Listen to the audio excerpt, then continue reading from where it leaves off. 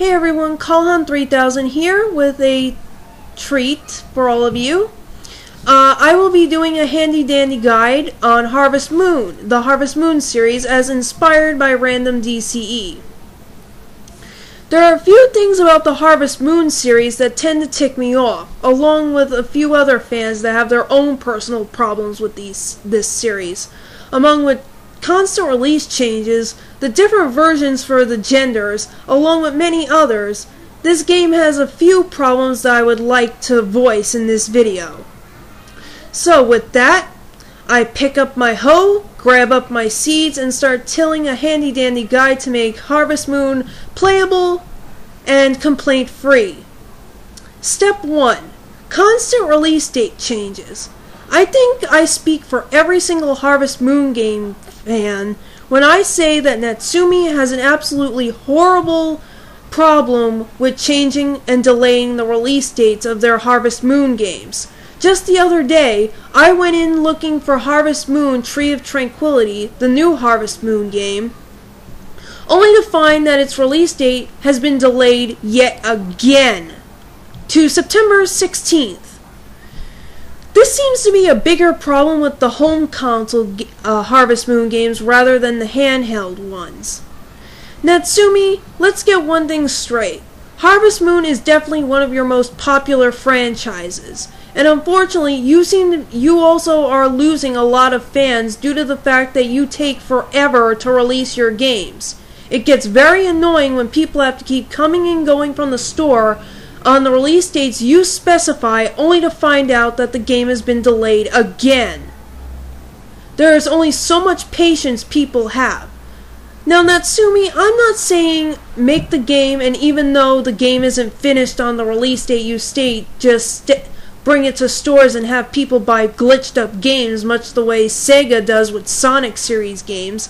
No, that's not what I'm saying at all. What I'm saying is try to graph your time out more properly. When you decide to make a Harvest Moon game, decide on what you want to put in the game, figure out what you want to do with it, and then give yourself enough time to make the game and be able to send it out to stores on the release date that you give. We don't mind if it's delayed once, but but people are going to get really pissed off if it's 3 or 5 times. I forget how many times Harvest Moon A Wonderful Life was delayed. I think it was six times? I'm not sure. But according to a lot of fans, it was a lot of times to where they didn't even bother paying attention anymore. Because they just got sick of it. Step 2. Boy and girl versions. What's the point? Natsume seems to constantly make separate versions for boys and girls in the in the Harvest Moon game series. Unfortunately, this can be a bit annoying for people for people, especially the female fans who want to buy the girls version. The boy version always comes out first, and then the girls are left waiting for months on end until the female version comes out. Natsume, you've lately been making games to where you can choose at the very beginning of the game whether or not you can be a male or a female. Could I suggest just doing this and just stop making separate versions for for girls and boys? And while we're on the topic of this also, if you're going to make two separate versions, release both of them at the same time and also with the same stuff in it. Be fair to both genders and not only that, allow the boys, allow the male players to be able to have daughters too. Not just make the gender of the child explicit, ex exclusively for the gender of that game. As in, don't make the boys only allowed to have sons and the daughter the girls only allowed to have daughters. Make it realistic and make the gender random, much like it is in nature.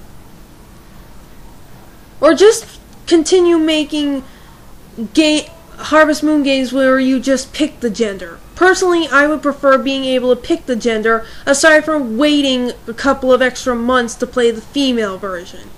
And yes, I do play the boys version, but really, it get it's getting ridiculous. Step 3. The children. In Harvest Moon, you are able to have children in the game. Unfortunately, this is also has a few complaints of my own. Is it just me, or does Natsume, despite how long they take making their games, have absolutely no originality when it comes to the children since all of them tend to look exactly the same aside from their clothing, hair color, and eye color? Natsume, try and make the children more look more like their parents, huh?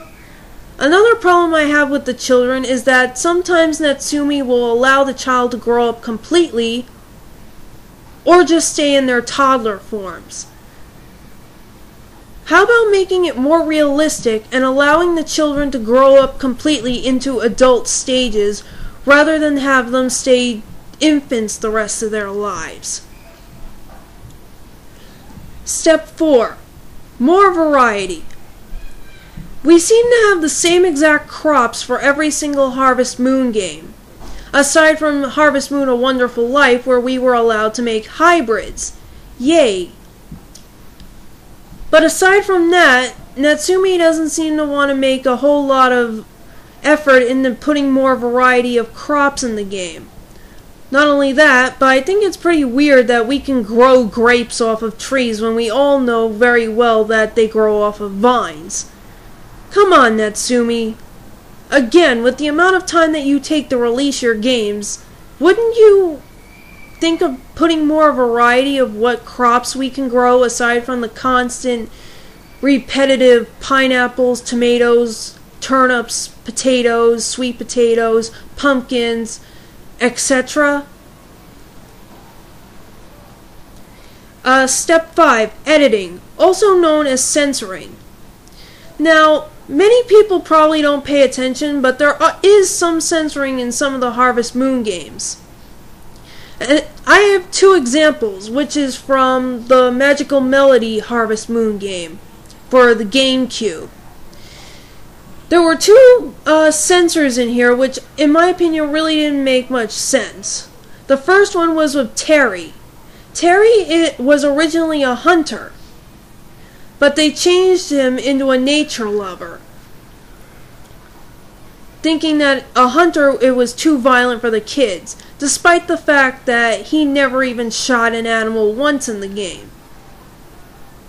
Another edit that they did in the game was also the change of grape wine to grape soda. So now when you go to the inn and order grape soda, it's added twice on the list. Grape soda appears twice on the list. Not only that, but I think it's pretty obvious to anyone who plays this game that something is seriously wrong when you have to make when one of the ways to make grape soda is to use the aging pot. Wine is aged, not grape soda. And if it is grape soda, then why does the character get intoxicated off of their ass? And not only that, but Anyway, you get my point. Step 6 Title Changes. Some fans get really sick of the fact that while, while the titles of the games can be easily translated into nice, well, well thought out titles, Natsume seems to go for kiddie-ish stuff. Like, for example, uh, Harvest Moon Magical Melody. The title from its original Japanese version translated quite literally, I'm sure, to Song of Happiness. Now, which would you rather have? Song of Happiness or Magical Melody? Same with Tree of Tranquility, the new Harvest Moon game for the Wii. It was originally Tree of Peace. This isn't a big complaint, but honestly, Magical Melody, Tree of Tranquility. Uh, I think Natsume could do a better job. Anyway, that's my guide for making Harvest Moon watch playable and complaint free. If you like this video, feel free to leave a comment. If you didn't like this video, well, that's just tough shit. And again, I am not ripping off random DCE.